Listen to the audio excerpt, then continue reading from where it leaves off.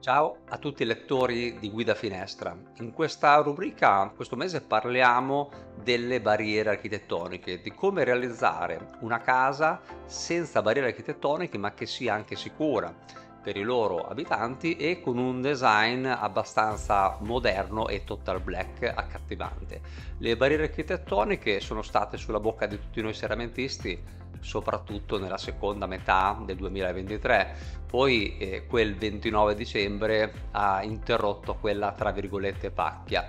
ecco in questo articolo non voglio entrare nel merito di quello che è successo a dicembre ognuno avrà le proprie idee io le mie ma voglio parlarvi di una realizzazione che abbiamo fatto a Rovigo. Siamo nel campo di una nuova costruzione di una casa unifamiliare con un design moderno. E già in fase di progettazione il committente che era tra l'altro un attivo lettore di blogbisacchi.it aveva voluto tutte le porte e finestre scorrevoli perché aveva capito che lo scorrevole era una tipologia di aperture che avrebbe agevolato l'eliminazione delle barriere architettoniche che era una, prego- una delle prerogative per questa abitazione. Poi era importante anche il discorso della sicurezza perché non erano presenti dei sistemi oscuranti ed era importante anche l'aspetto del design, quindi il colore nero, i profili sottili ed i vetri extra chiari. Apro una parentesi col discorso della mancanza delle schermature solari perché bisogna dire che si possono eliminare a patto che ci siano dei, dei, presupposti come ad esempio il giusto orientamento del fabbricato o ci siano delle schermature naturali come magari della vegetazione, degli alberi o degli altri fabbricati oppure che ci siano delle superfici aggettanti che possono fare ombra ai serramenti esposti a sud, a ovest o ad est. Oppure ancora se in quelle vetrate che non ci sono queste, queste possibilità, si potrebbe optare per dei vetri selettivi. In tutti questi casi è possibile lavorare anche con dei serramenti senza oscuramento, che anzi è qualcosa che nell'edilizia, nell'architettura moderna si sta utilizzando molto perché abbiamo vetrate sempre più grandi dove gli oscuramenti sono sempre più difficili. In questo caso il progettista aveva fatto già un ottimo lavoro con le superfici aggettanti e tutte le finestre eh, difficili erano, erano, tutte protette e quindi eh, siamo passati a parlare di come eliminare le barriere architettoniche.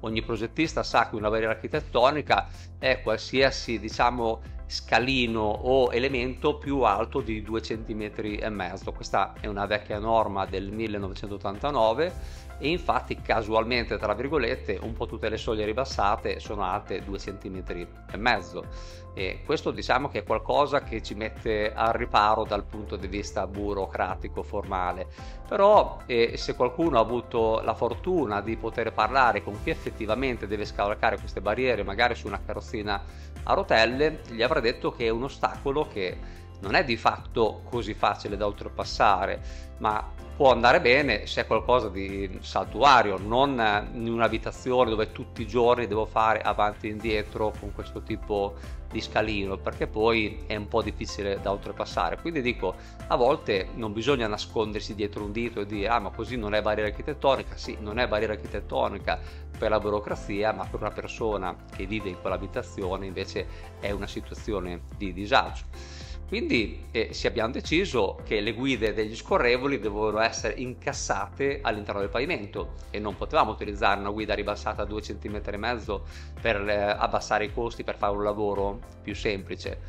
però c'è anche da dire questo, che normalmente le guide degli scorrevoli hanno una, due o tre guide e tra questi elementi ci sono degli spazi, ci sono dei veri e propri solchi. Tra una guida e l'altra ci sono questi solchi che possono essere pericolosi, magari per un bambino piccolo che ci cammina scalzo, ma anche con una, una, qualcuno in carrozzina che magari inclinandosi trasversalmente si possono incastrare le ruote della carrozzina in questi solchi, rendendo difficoltoso uscire da questa situazione. Per questo motivo abbiamo scelto delle guide zero level dove tutto l'elemento scorrevole era completamente a zero, non esistevano questi comuni solchi dei quali ne avrete viste in, in tutta la vostra storia di serramentisti e rivenditori. Quando si parla di incassare delle guide a pavimento bisogna concentrarsi come primo aspetto sul problema del, del flusso dell'acqua piovana perché eh, ripararsi dall'acqua è fondamentale un infisso di questo tipo.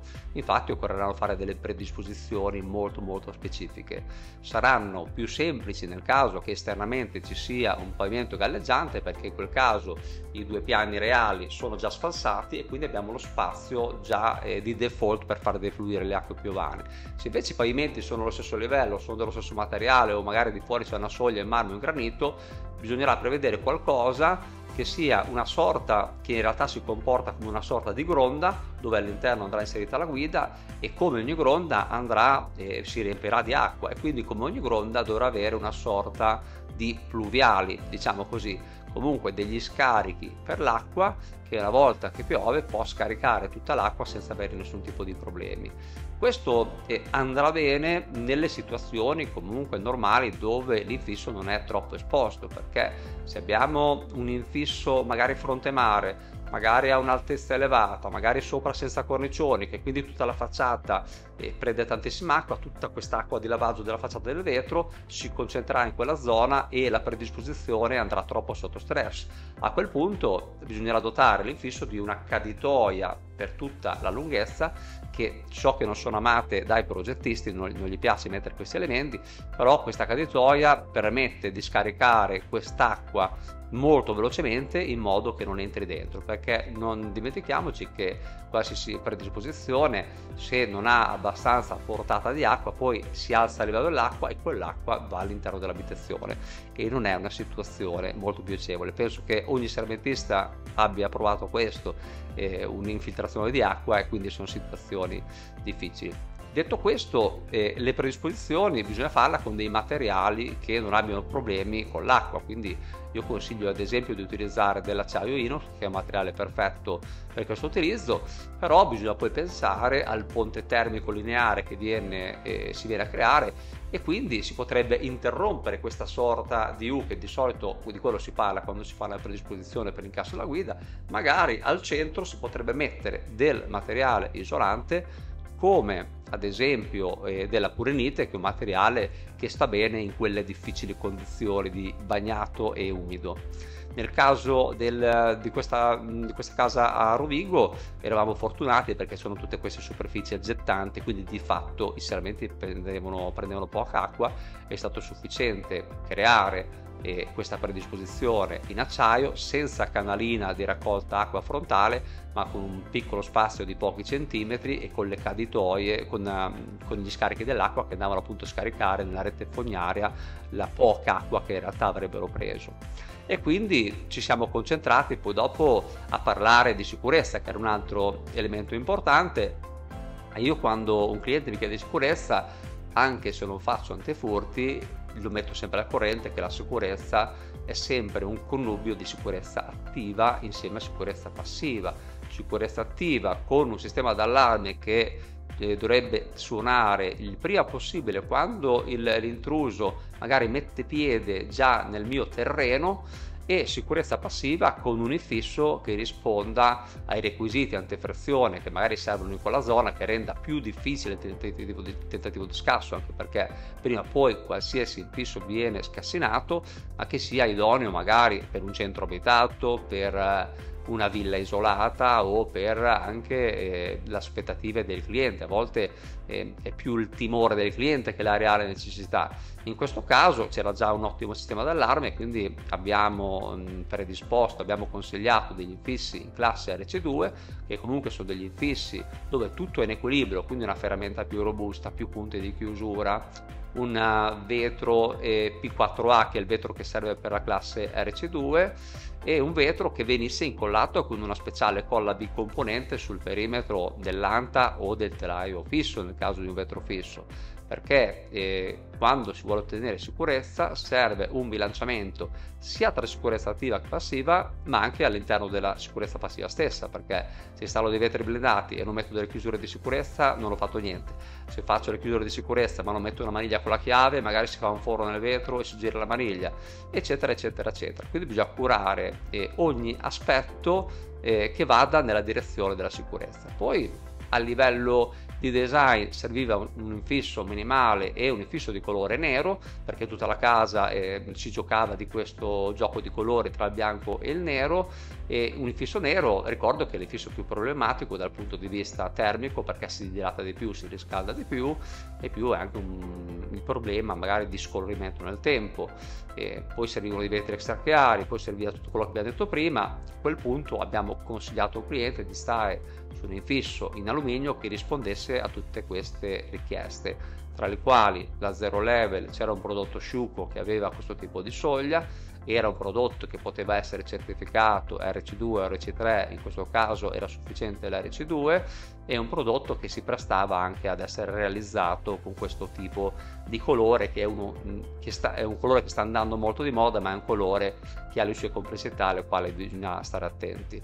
Nello specifico abbiamo scelto la serie ASE 80 HI nella declinazione Design Edition che prevedeva un montante centrale di soli 4 cm, così anche il design era accontentato. E poi abbiamo completato il tutto con degli elementi ad angolo, con dei tagli di luce, con dei vetri fissi con delle tipologie di infisso che andavano a impreziosire tutto il progetto del quale ti lascio guardare le foto qui all'interno del video all'interno dell'articolo pubblicato su Guida Finestra. Spero di averti dato qualche spunto per fare meglio il tuo lavoro ogni giorno e ti ricordo che un serramentista che ama il suo lavoro è un sermentista che non si nasconde dietro un dito dicendo guarda questa è la normativa, io sono a posto con la legge, sono a posto con il mondo, ma che vada veramente incontro alle esigenze del cliente, qualsiasi esse siano, come in questo caso eh, delle barriere architettoniche, a maggior ragione perché chi ha bisogno di questo tipo di esigenza è una persona che va aiutata ancora più delle altre. Ciao e al prossimo articolo.